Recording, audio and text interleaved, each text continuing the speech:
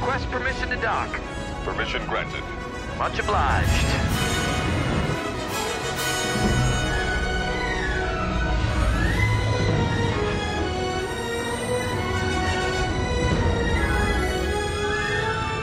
Man, would you look at that? Definitely worth the wait.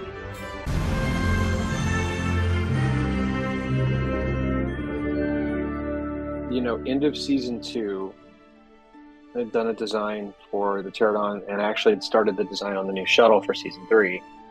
Uh, and we put it Pterodons in one shot in Identity Part Two that no one really notices, where we're kind of flying over Leviathan and they leave the shuttle bay and they kind of wrap around the Mhm. Kaylon cruiser.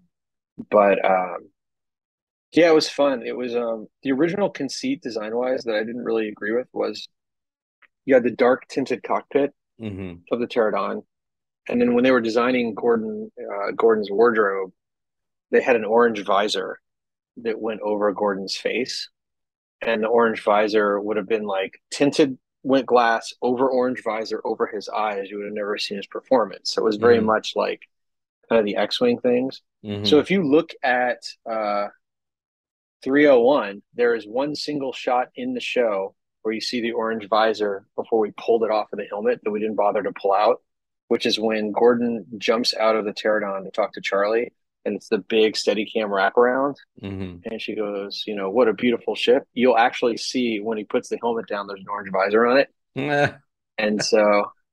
If you want an Easter egg, that's the thing that we removed because it just it was too much for the performances yeah. but um yeah Well, the I- sequence was was was fun It Was it uh, sad to see so many destroyed in that episode? Oh no i wanted them all. I, I we only killed four of them but no Mhm. we killed more than that. Killed four. Yeah i just used them as kind of like fodder. I mean, look there there is there is some logic to say like you know I've, I've read some of the criticisms people like well why would the shuttle um you know why would the pterodons surround the shuttle if it's already cloaked and no one would see it?